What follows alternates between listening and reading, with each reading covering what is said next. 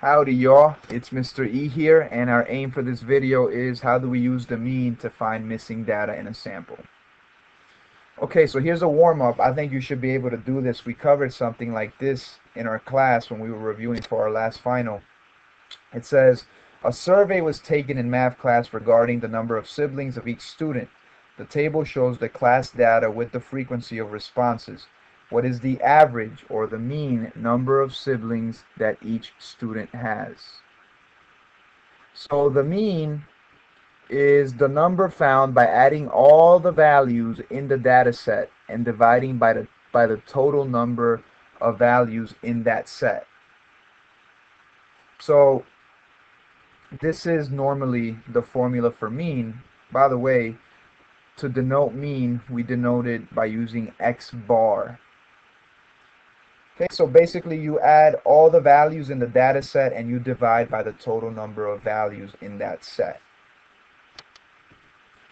Now, this is a this this table here, it, it shows the class data, but you're going to notice that we have a frequency here. Now, I don't know how many of you are familiar with that, so let me just break that down. Frequency refers to the number of times that something occurs. So one way to interpret this is to interpret it in this way. There are five students with one sibling, 10 students with two siblings, eight students with three siblings, four students with four siblings, and one student with five siblings. So there are actually a total of 28 students.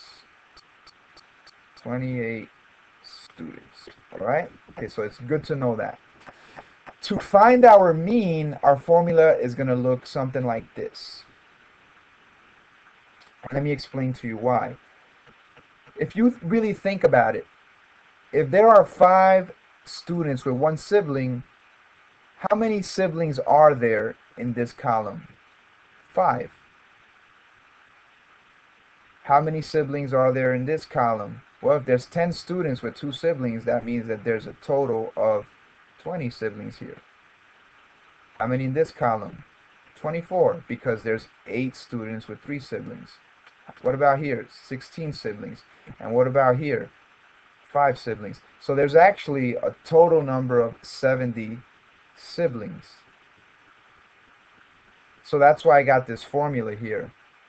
When you're dealing with a group frequency chart, the formula is going to look like this. x1 times the frequency of 1 plus x2 times the frequency of 2 and so on and so forth all the way up to xn times the frequency n. Alright, so if we're going to solve for the mean, we have to add up all the siblings and divide it by the total number of students. And that's going to give us 2.5 as our final answer. So x bar, or the mean, equals 2.5. Okay? Alright, now recall, our aim for this video is how do you find missing data when provided with the mean. So we're going to look at that right now. So here's our example it says a survey was taken in math class regarding the number of siblings of each student. The table shows the class data with the frequency of responses.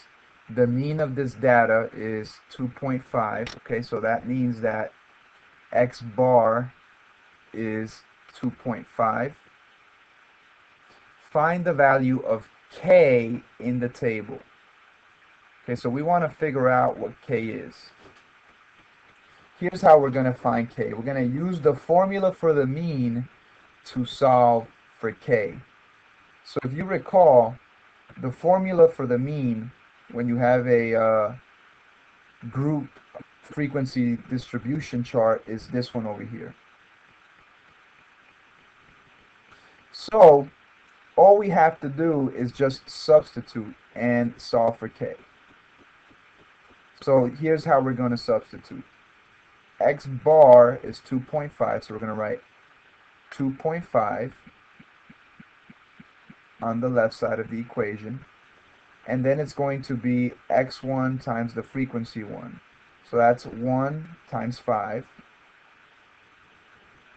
And then it's going to be x2 times the frequency 2. So that's going to be 2 times k. So we got 2k, 2 times k there.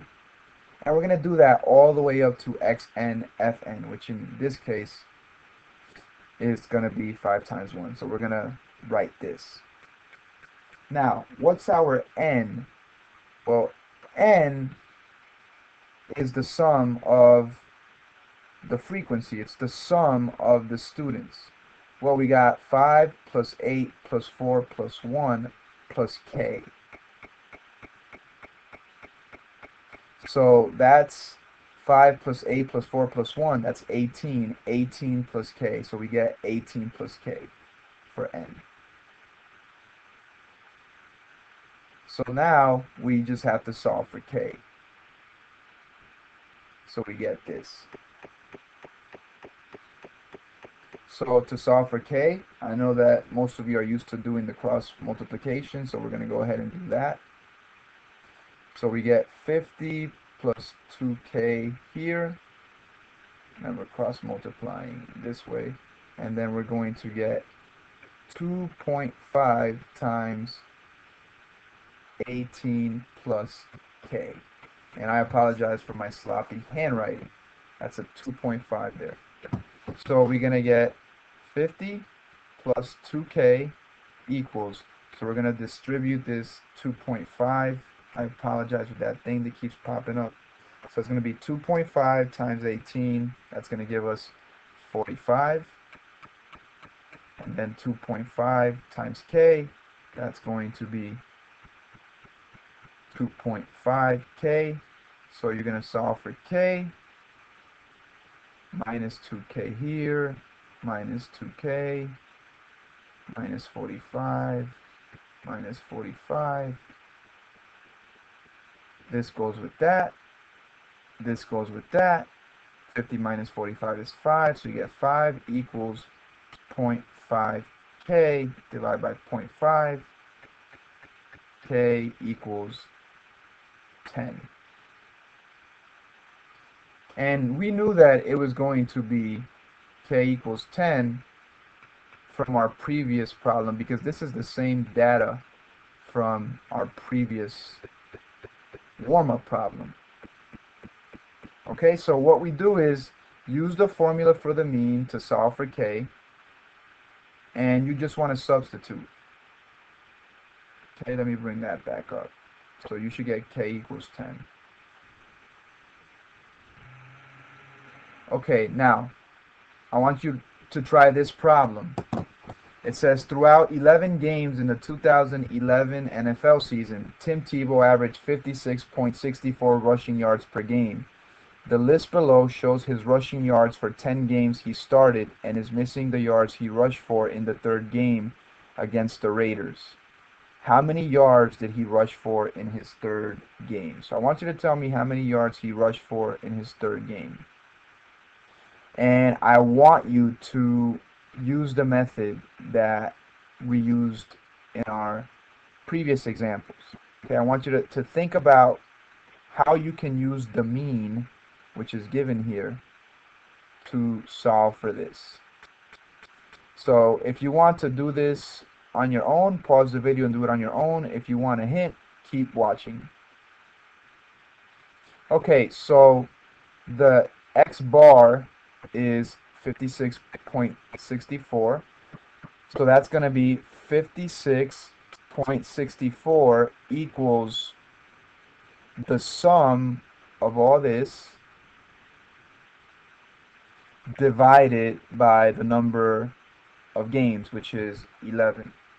So what is the sum of all that? Well, that's going to be 59 plus 63 plus 43 plus 68 plus 67 plus 13 plus 49 plus 93 plus 34 plus 16 and you get 505 plus the missing game which we could call x.